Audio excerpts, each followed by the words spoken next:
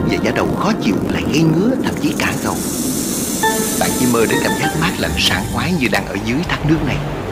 Bạn sẽ luôn được toại nguyện với clear bạc hà mới. Clear bạc hà đi sơn đầu và ngứa với tương chất bạc hà độc đáo làm mát lạnh cả da đầu. Sạch gầu hết ngứa chỉ có mái tóc đẹp. Và cảm giác mát lạnh. Nhờ clear bạc hà mới. Clear bạc hà mới mái tóc đẹp sạch gầu với cảm giác mát lạnh.